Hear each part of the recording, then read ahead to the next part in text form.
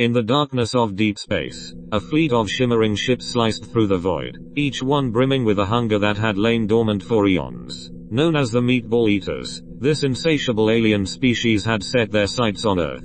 A vibrant world teeming with potential culinary delights. With their grotesque, gelatinous forms, they shared one all-consuming desire, to feast upon the succulent heads of humanity. For the Meatball Eaters, Humans were the ultimate delicacy, with brains rich in flavor and unforgettable delicacies just waiting to be cooked.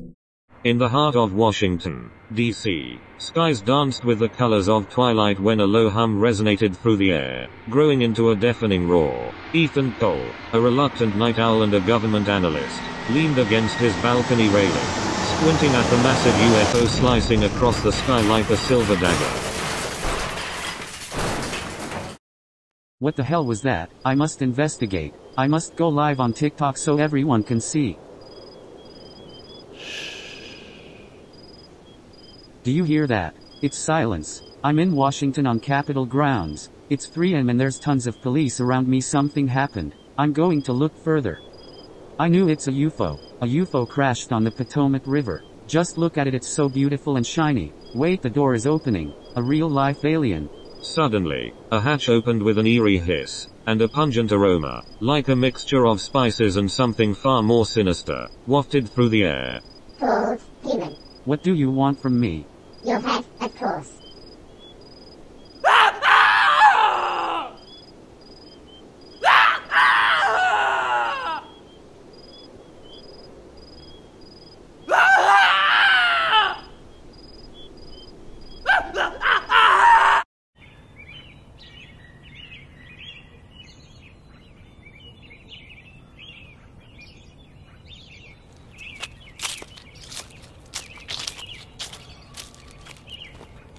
Wow crap what happened here the man head has been delivered.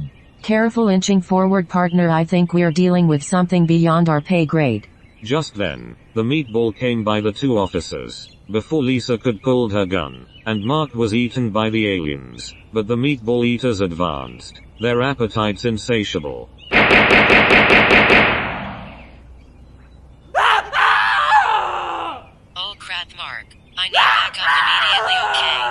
I up ASAP aim for their bulbous bodies. Disrupt their gelatinous structure. Done. We have to disable that ship before it gets worse. Do you see anything useful? They're attacking everyone. As they fought valiantly, a sudden explosion shook the ground, the UFOS engines revving up for another assault, preparing to take flight and spread terror nationwide.